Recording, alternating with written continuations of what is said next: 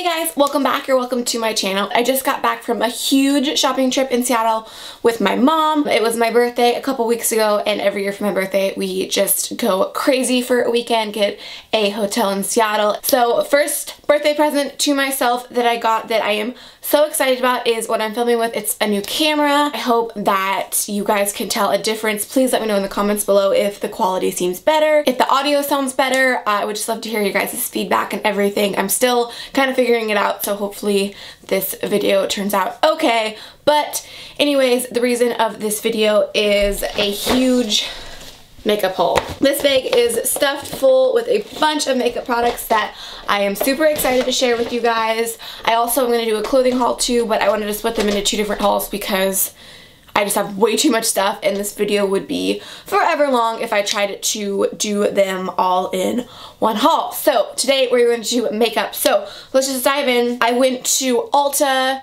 Target, MAC, and Sephora. So I got a lot of stuff, but I've been using kind of some of these products, so I'll be able to give you guys kind of a first impression, a little review on the products that I have been using and let you guys know what I think. So first up, we'll start with MAC. I got a bottle of their Fix Plus. I've never used this before, but so many people here on YouTube just rave about this stuff, so I wanted to give it a try. I have been using it a little bit.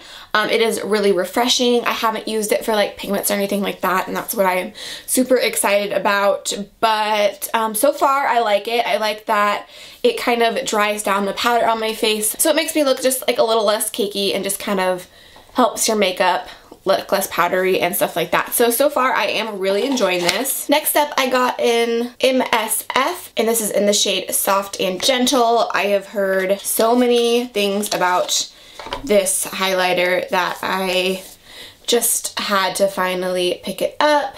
That's what it looks like. It's a lot more like bronzy than I was expecting it to look, but nonetheless, it is absolutely gorgeous. I have not used this one yet on my skin, so I cannot tell you guys my thoughts about it, but with just swatching it, I can tell that I am probably going to love it. It is absolutely beautiful. Next up from MAC, I got a few lip products. I got a lip liner. This is in their like um, special packaging. I don't know why I got it in this packaging, but it's just um, Whirl from MAC, but it's the collection Brooke Candy. I'm not too sure about this collection. I have not heard of it. So I don't know, but it's really pretty. It's kind of silvery. I'm sure you guys have seen Whirl many times. It's just a great kind of mauvey, reddish, pinkish color really, really pretty. I actually am wearing it um, today underneath this next lipstick that I got, which is also from one of their collections. And this packaging is so stinking cute. It's like their tribal collection. I'm not exactly sure the name of it, but I think this is just the cutest packaging I have ever seen. I'm so glad that I got one of these while they're still around. Um, this is in the shade Arrowhead and it is a matte. Swatching it by itself is kind of like scary, but um, on top of Whirl, which is what I'm wearing today, it is absolutely beautiful. I'll put it on top. So that's on top of Whirl right there. Um, so it is absolutely beautiful. I love this color. Also like putting it in the middle of your lips if you're wearing a dark lipstick just to make your lips kind of pop a little bit. So absolutely love this shade. Next lipstick I got is Syrup and this is a luster. That's the color right there. Really, really pretty. There it is right there. This is another one that is great to go over Whirl. Really pretty. I've been wearing this quite a bit and I love it. Next lipstick I got is Twig. This is another one that I love. And this is a satin. Oh, this is so pretty. I love Twig. There's Twig right there. That's Syrup, that's Arrowhead, and that is Arrowhead and Whirl right there. And last lipstick I got from MAC is the infamous Velvet Teddy. I got this because I'm thinking about wearing this on my wedding day. Um, I'm trying to figure out makeup and stuff for my wedding day, so I wanted to try, you know, a few different lipsticks and things like that. I'm still figuring out. But Velvet Teddy is a matte, and again, this is really, really, really pretty. There it is right there. These are actually my first MAC lipsticks ever. I've never bought a MAC lipstick before, so I'm really excited to start collecting these guys, especially the limited edition packaging. These are just so cute, but I love these. I'm so excited them. All right, next up we'll go into stuff I got at Sephora. I didn't get too many things at Sephora, but there is a few things that I wanted to pick up. So first I got a blush from NARS. This is in the shade Madly. This is really, really different than anything that I have right now. So that's why I wanted to get it. I usually get the like the same color blushes. So I almost got the shade Amour, which is like a peachy pink, but I just have so many of those, so I decided to get Madly. Kind of hard to see on my finger, but it's a really pretty, like, uh, nudie pink peachy color with like a teeny bit of shimmer in it. Let's see if I can build up a swatch to show you guys. So there it is right there. It's really different than anything that I have. I absolutely love it though. I am wearing it today. I don't know if you guys are gonna be able to tell, but it's really easy to apply, really easy to blend out. Um, so I've really been enjoying this. Another product from NARS I got is one of their eyeshadow duos. And this is in the shade um, Isolde, I think. And I got this because Kathleen Lights raves about this duo. If I can figure out how to get it open. This is what it looks like. It is so, so stunning. I am so glad that I got this. I am wearing it on my eyes today. Let's see if I can zoom you guys in. That's what it looks like. I have um, the like, I have this lighter gold shade all over my lid and then I have the darker brown shade on the outer V. I think it's absolutely stunning. I'm so happy that I picked this up. These are so pigmented and just gorgeous. That's what they look like swatched on my fingers. Oh, they're so pretty. They're there right there. I would definitely recommend NARS eyeshadows. These are my first NARS eyeshadows. I'm pretty excited about them. Also, to go with this, I wanted to get Bobbi Brown's um, single eyeshadow in the shade Camel, but literally I went to three places and every single place that I went to was sold out. Nordstrom and both Sephora's that I went to were sold out of it. So that was a little disappointing, but I ended up ordering it online, so that should be here soon. I've heard great things about that shade as well. Kathleen Light says that she uses Bobbi Brown Camel with this duo all the time, so really excited for that to come so I can try those all together in the crease today, I just used the um, Too Faced Natural Matte Palette. Next up is something from Makeup Forever. This is their, what is this called? Incredible Cover Concealer. This is fairly new for them. That's what it looks like. I got mine in the shade Y31, which I don't know if I went a little bit too dark with this. I think it'll be okay. I wanted it to conceal, so I just wanted it to put directly under my eyes to cover up any dark circles. And so far, I absolutely love it. When I first got it, I wasn't too sure about it for a couple reasons. One, I absolutely hate the applicator. It's just such a pain. It's not a doe foot. It's like this little squeezy tube and it comes out of that little hole right there. And I always, always squeeze way too much out than I need. I wish that it was a doe foot. So I am not too crazy about that. And I, the last couple times that I used this, I was out of town. I didn't bring my beauty blender, so I had to blend it out with my finger. So it was kind of hard to do that way, but um, now that I'm kind of getting used to the applicator and I blend it out with a Beauty Blender, I think it's absolutely flawless. I am wearing it directly under my eyes today, and I think I really love this. It was a toss-up. I wasn't sure if I wanted to get this or the, the Urban Decay concealer that everyone raves about, but I opted for this one, and I'm pretty glad that I did. Next up is something from Hourglass. This is something that got me in the little line when they have all like the little sample products. I got a sample for this a while ago and I absolutely love it. I told myself I wasn't going to buy the full size because it is so expensive, but I saw this little guy for, I think it was $15 and this is the Hourglass Mineral Veil Primer. This is what the little sample looks like.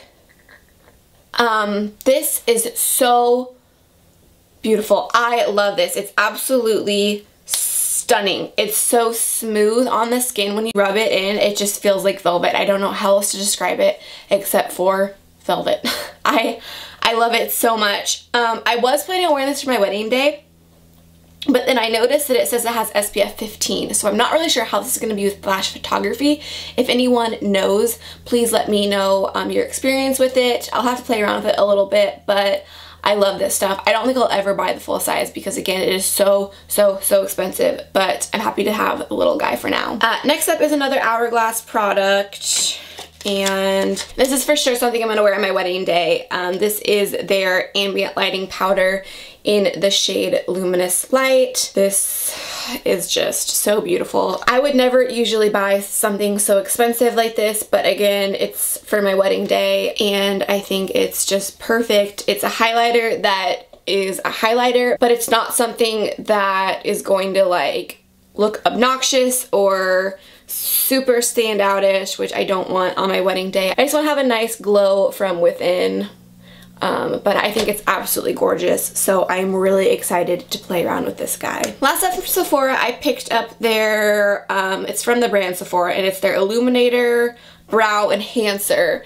And I got this because I was gonna get the um, Benefit Gimme Brow, but then I saw this and it was quite a bit cheaper and it's like exactly the same product and exactly the same color. It's just like a pink kind of crayon to highlight your brow bone. So I picked this up and so far I'm loving it. I am wearing it on my brows today and I think it works great. So if you guys are looking for a cheaper alternative to the Benefit Me Brow, no, not the Benefit Me Brow, Benefit High Brow?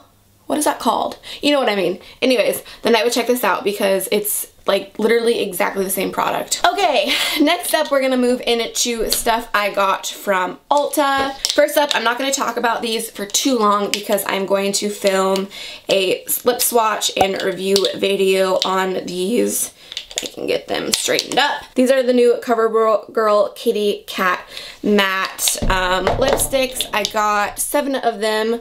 I got as many as I could find from Ulta and Target. So stay tuned for lip swatch and review on these guys. Next up from Ulta, I just got a couple lashes. I got the Ardell 106s. These just look really fun and I've never tried them before. So I got these and then I got the Ardell Wispies, which again, I have never tried. So I thought that those would be fun to try out. Next up, I got a lip liner from Rimmel. This is the Exaggerate Full Color Lip Liner, and this is in the shade East End Snob. I got this because um, Jam Beauty, is that a name? I think so, yeah. Talks about these all the time, and specifically this color that's what it looks like. It's just a great like everyday kind of pink shade. These are so creamy. Like I think I like these better than the MAC lip liner. I don't know. The MAC lip liner is kind of drying and I like that this one is um, retractable and not, you don't need a sharpener for it. So I've really, really been loving that one. Next up, this is a repurchase. This is the Maybelline Lash Sensational. I love this mascara, favorite mascara from the drugstore, so I don't need to talk about this for too long. This is another repurchase for me. This is the L'Oreal Magic Lumi. This is a great highlighter pen from the drugstore. This is in the shade, I think I got light. What shade did I get? Yep, this is in the shade light. Next up, I got the NYX Angel Veil Primer. I have not tried this yet, but I've heard that this is a dupe for the Hourglass Mineral Veil Primer. So I'm really excited to test these guys out side by side and kind of see how they work. Next up, I got the Stila Stay All Day Liquid Lipstick in the shade Patina. Um, people rave about this color, rave about this formula. This is my first Stila liquid lipstick and I've been wearing it a couple times and I really really do enjoy it. It dries completely matte but it's not overly drying. It's not uncomfortable to wear on the lips. The color is absolutely gorgeous so I have definitely been enjoying this guy. So next up I got the Laura Geller Baked Highlighter in Gilded Honey. Everyone and their mother raves about this highlighter and it is absolutely gorgeous. I am so glad that I picked it up. Even like the swirl in there, I love the packaging of it. It's absolutely gorgeous. I am so excited to play around with this a little bit more. Next up, I got two of the L'Oreal Infallible eyeshadows. I got this first one in Amber Rush and then I got this second one in Iced Latte. Both of these are great like everyday shades. I don't own any of these. I have never ever tried them, but boy was I missing out. These are such such great eyeshadows from the drugstore. So here is Amber Rush and here is Iced Latte and whew, they are so stunning. I have not used these on my eyes yet, but I cannot wait. This would be a bomb ass highlighter too. Um, but yeah, these are absolutely gorgeous. I cannot wait to play around with these a little bit more. Next up, I just picked a, up a NYX Jumbo Eye Pencil in the shade Milk. I'm sure you guys have seen this all over. Just a great white base for eyeshadows, so I'm really excited to try this. And then last but not least, finally, I just picked up a repurchase of my Maybelline uh, Fit Me Concealer. This is in the shade Light. I've been using this for a really, really long time and mine is almost out and I just cannot stand to be without it. So I got another one. Oh wait, no, I lied. This is the last product. Um, I got the Wet n Wild, this is, what is it called? Mega Glow Contouring Palette. That's what it looks like. This is not new. Um, they have two of them. One has the banana shade on it and a little deeper of a contour, but I opted for this one and I do like this. Um, I've only used it once. I used it today. I use it for my contour and for setting my under eyes. I really like it for setting my under eyes. The contour, I don't know, it's really pigmented. Like I went in a little bit heavy first and I had to like blend it out. Um, but I don't know. I need to play around with a little bit more. I need to have a lighter hand. And also when you go in um, with your brush, it kind of kicks up quite a bit of powder. So you have to be careful about that. But all in all, this is a really, really nice drugstore um, contour and highlight duo. Okay, that was everything for this haul. Hopefully this video was not too long. I'm looking at my time step right now and I'm like at 30 minutes, so hopefully I can trim this down quite a bit. But I hope you guys enjoyed. Let me know if you guys have tried these products, what you think about them. And yeah, thank you so much for taking the time to watch my video today. Please hit that subscribe button before you leave and I'll see you guys in the next one. Bye.